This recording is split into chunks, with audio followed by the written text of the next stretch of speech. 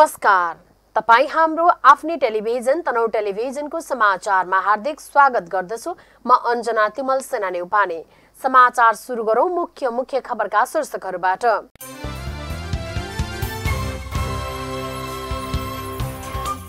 आगामी मङ्सिर चार गते आइतबार हुने प्रतिनिधि सभा र प्रदेश सभा सदस्य निर्वाचनको तयारी तनहुमा पुरा।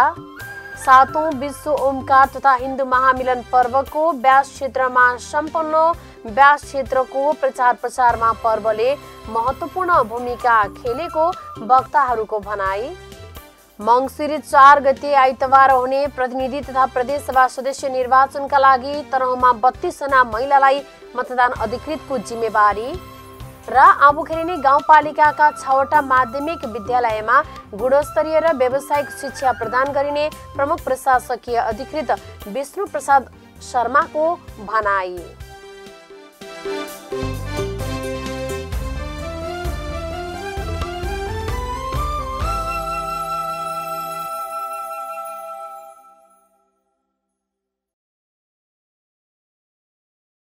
अब समाचार विस्तारमा।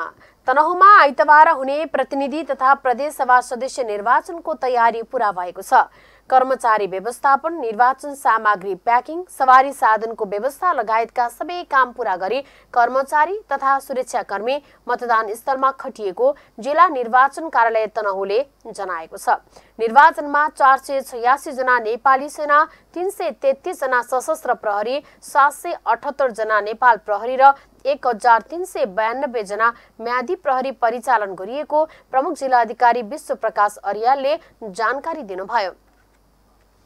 छवटा गाउँपालिका र चार नगरपालिका गरी दसवटा स्थानीय तह रहेको तनहुमा एक सय बयालिस मतदान स्थल तीन सय पाँच मतदान केन्द्र तोकिएका छन्। दुई अस्थायी मतदान केन्द्रबाट कर्मचारी नेपाली सेना नेपाल प्रहरी र कारागारमा रहेका कैदीले मताधिकार प्रयोग गर्ने मुख्य निर्वाचन अधिकृत एवं जिल्ला न्यायाधीश दलबहादुर केसीले जानकारी दिनुभयो।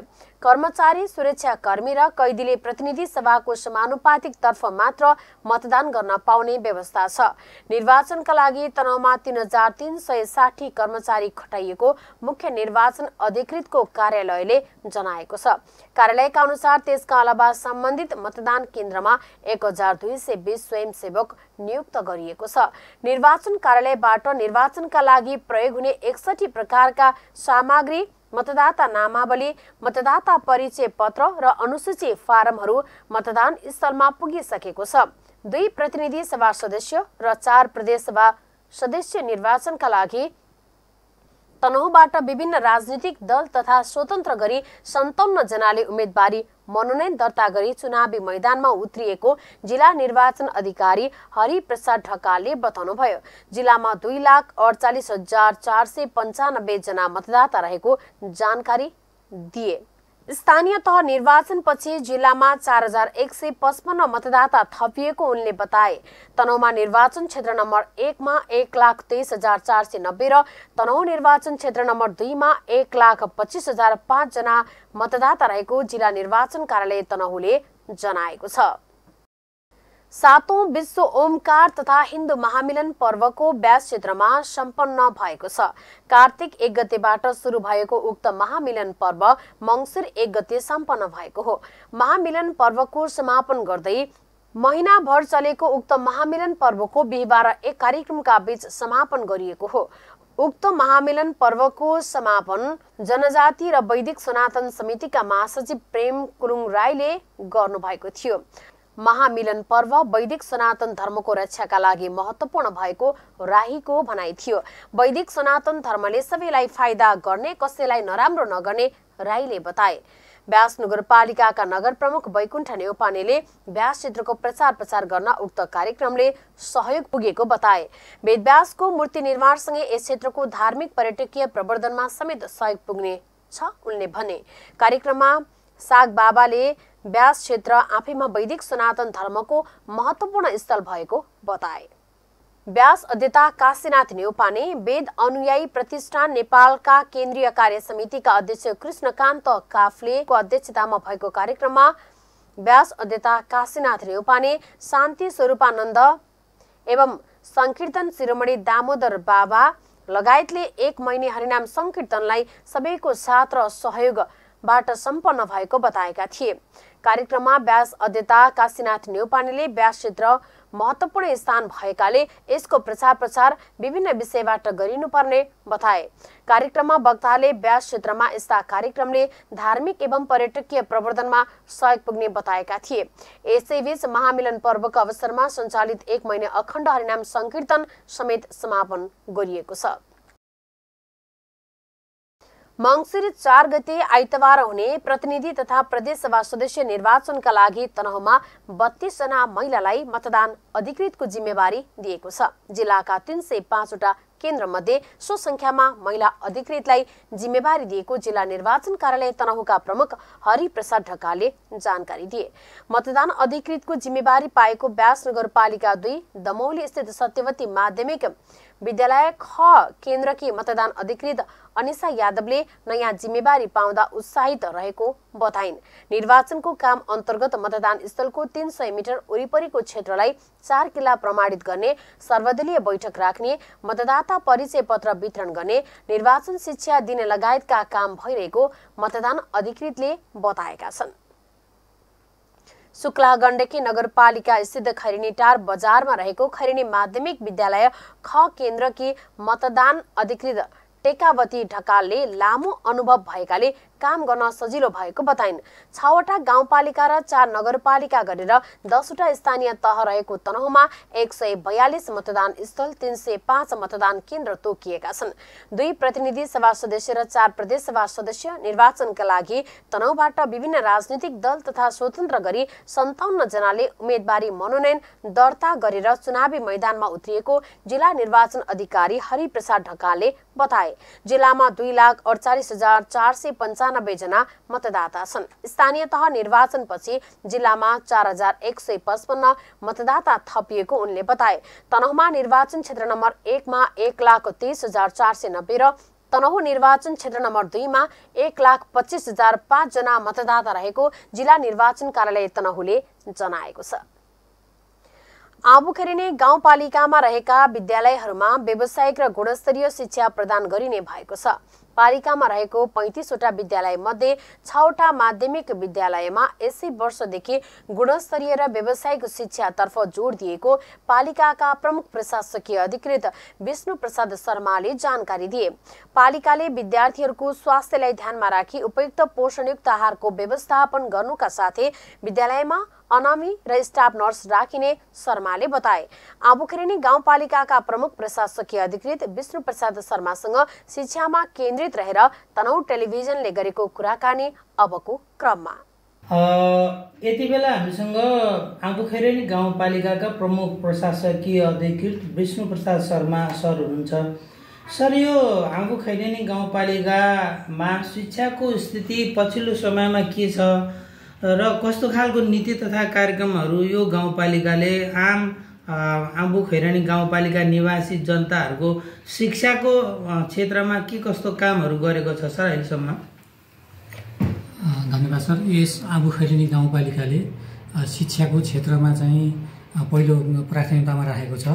अनि शिक्षामा चाहिँ यहाँका चाहिँ पैँतिसवटा चाहिँ विद्यालयहरूको लागि मावि तहका विद्यालयसम्मको लागि अनि शिक्षामा चाहिँ नि गुणस्तरीय शिक्षा दिने र व्यावसायिक रूपमा चाहिँ नि शिक्षा प्रणालीलाई चाहिँ विकास गर्ने उद्देश्यका साथ यस आमुखर्नी गाउँपालिकाको कार्यपालिका अगाडि बढिरहेको छ र यस सन्दर्भमा अनि शिक्षामा विद्यार्थीहरूलाई एउटा स्वास्थ्यको पनि पहुँच पुर्याउने भनेर विद्यालयहरूमा कर्मश अनमी स्टाफ नर्सको पनि व्यवस्थापन गर्दै जाने भन्ने चाहिँ नि हाम्रो शिक्षा नीतिमा चाहिँ नि केन्द्रित गर्न लागि छ।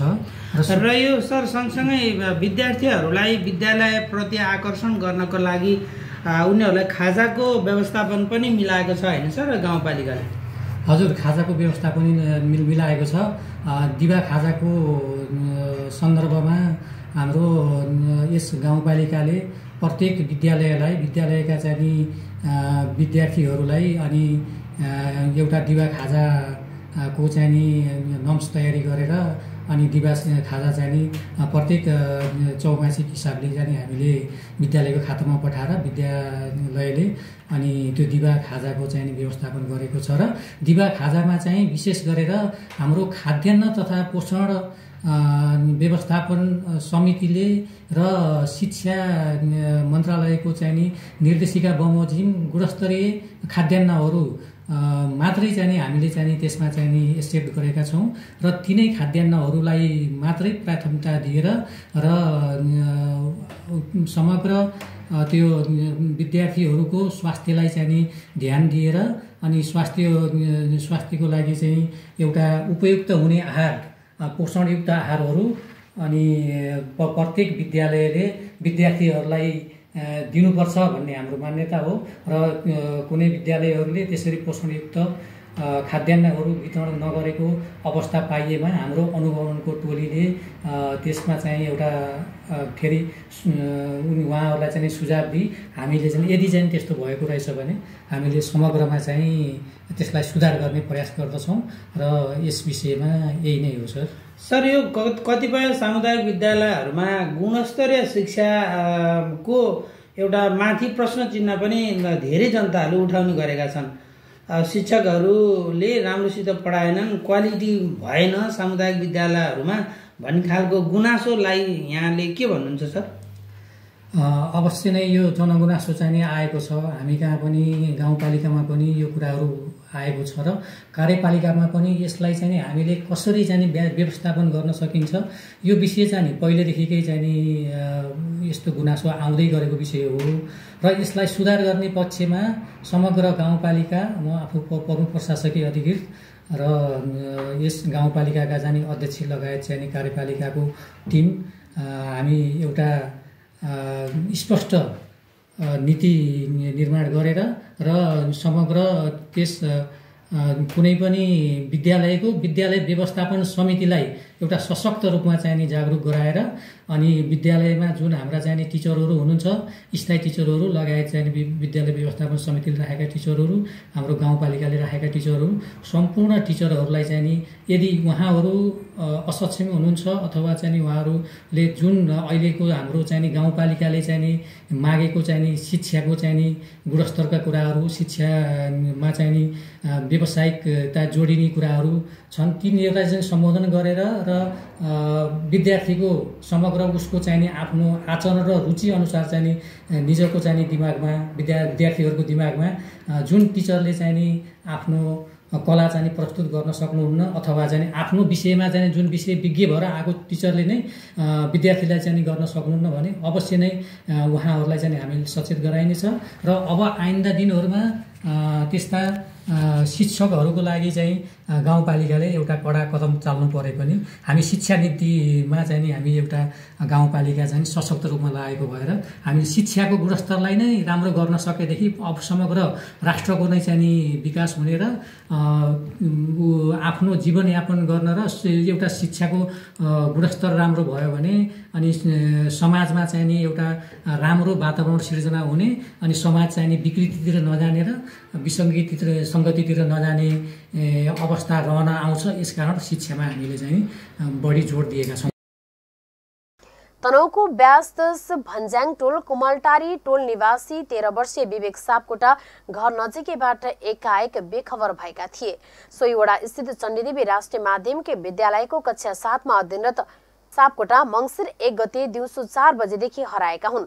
घरबाट पसलतिर झरेका ती बालक त्यसपछि घर नफर्केको परिवारजनले बताएका थिए। छोरा बेखबर हुँदा परिवारजन चिन्तित भएका थिए। अहिले ती बालक भेटिएको बताइएको छ। चण्डीदेवी राष्ट्रिय माध्यमिक विद्यालयका शिक्षक शान्ता बास्तोलाका अनुसार बालकलाई फेला पारिएको हो। यिनै विविध जानकारीको साथमा हामी तनहु समाचारको अन्त्यमा आइसकेका छौँ। विदा लिनु पूर्व मुख्य मुख्य खबरका शीर्षकहरू पुनः एकपटक।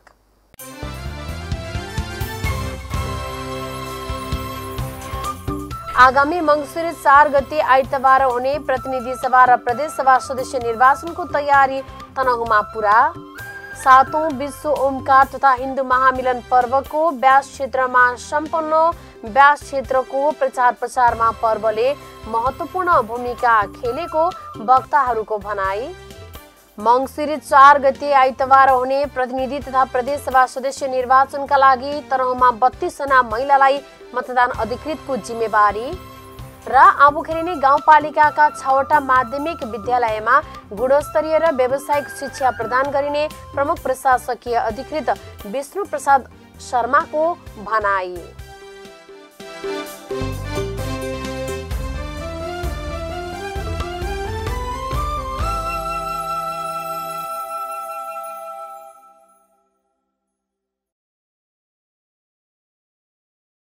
हवस् त तपाईँ हाम्रो आफ्नै टेलिभिजन तनौ टेलिभिजन गाउँघर सहर बजारको समाचारका लागि हेर्दै गर्नुहोला।